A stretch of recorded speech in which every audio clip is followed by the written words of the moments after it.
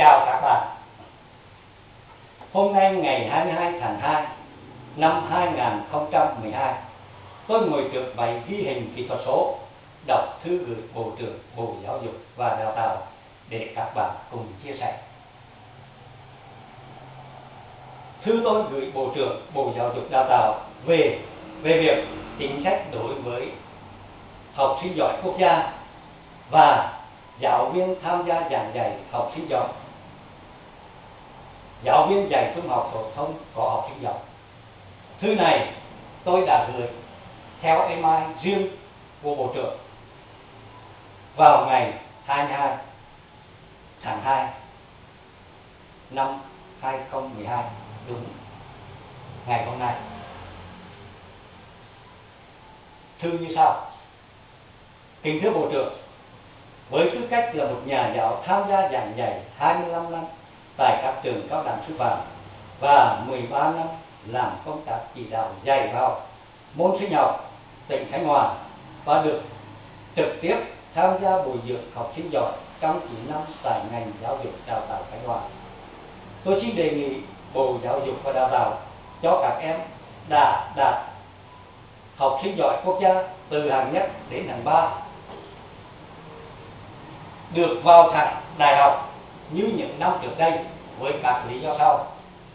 Một, học sinh giỏi, quốc gia thực chất là những em có trí tuệ tốt để học đại học. Hai, các em đã phải trải qua hai kỳ thi. Kỳ thi thứ nhất thi tuyển vào các đội tuyển của các tỉnh. Kỳ thi thứ hai, kỳ thi chính thức. Thi học, thi chọn để đạt học sinh giỏi quốc gia do Bộ Giáo dục Đào tạo tổ chức.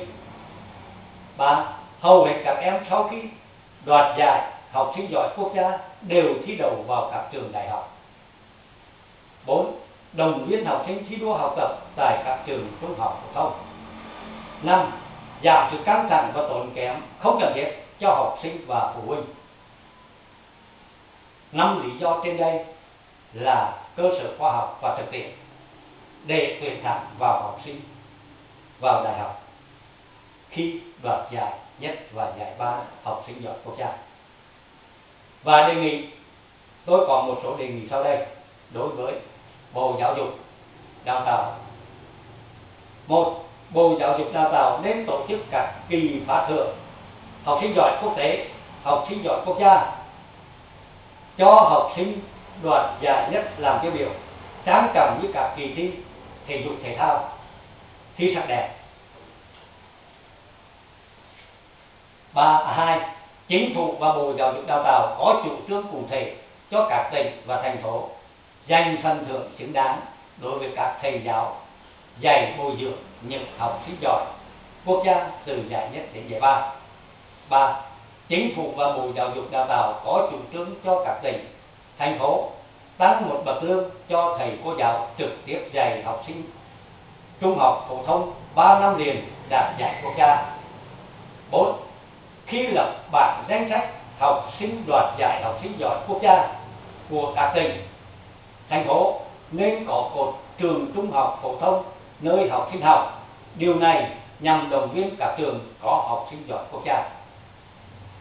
năm Những học sinh đạt giải nhất đề nghị Bộ Giáo dục Đào tạo cho các em được hưởng học bổng toàn phần ngay khi vào học đại học. 6. những học sinh đoạt giải quốc gia giải nhì cho hưởng một phần hai học bổng ngay khi vào học đại học. 7. những học sinh đoạt giải ba được hưởng một phần ba học bổng ngay khi vào học đại học. Sau một năm, sau một năm học, nếu những sinh viên nào không có kết quả học tập tốt thì cắt học bổng. Trên đây là một số ý kiến để tạo động lực cho học sinh giỏi và giáo viên trung học phổ thông có học sinh giỏi giáo viên tham gia dạy bồi dưỡng học sinh giỏi hăng hái học tập và giảng dạy nhằm tạo nhân tài cho đất nước. Nhân dân ta vốn tôn sư trọng đạo quý trọng người tài đảng và nhà nước ta cũng đã xem hiện tài là nguyên, nguyên khí quốc gia. Vì vậy tôi mong muốn những đề nghị trên đây trở thành hiện thực. Kính mong bộ trưởng và lãnh đạo bộ nghiên cứu và vận dụng. Kính chúc bộ trưởng và gia đình năm năm thìn an khang thịnh vượng. Chúc cho ngành giáo dục đào tạo Việt Nam ta trong giai đoạn 2012-2015 có những bước tiến mới, toàn diện vững chắc, trân trọng kính chào. Xin thân ái chào các bạn.